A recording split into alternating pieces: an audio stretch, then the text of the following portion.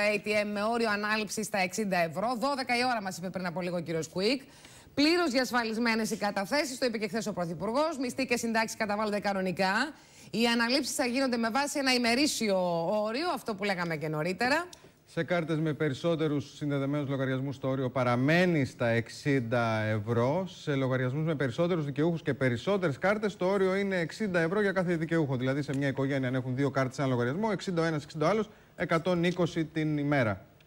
Το όριο των 60 ευρώ ισχύει και για την ανάληψη μετρητών από πιστοτική κάρτα.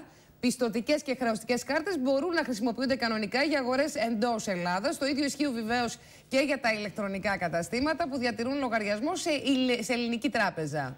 Οι πληρωμές με προπληρωμένες κάρτες θα γίνονται μέχρι το όριο που είχαν μέχρι πριν την έκδοση του, της πράξης νομοθετικού περιεχομένου. Κανονικά θα γίνονται οι μεταφορές χρημάτων μέσω ίντερνετ ή τηλεφώνου, εφόσον βέβαια ο λογαριασμός που μεταφέρονται τα χρήματα είναι στην Ελλάδα.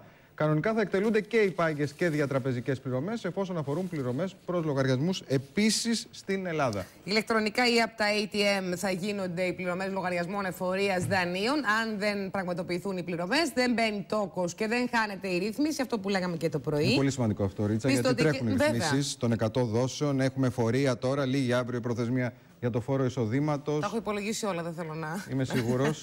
Πιστοτικές και χρεωστικές κάρτες ξένων τραπεζών θα χρησιμοποιούνται κανονικά. Και επειδή έχουμε και πολλές ερωτήσεις εδώ, αν τι θα γίνει με τους συνταξιούχους που δεν. Ε,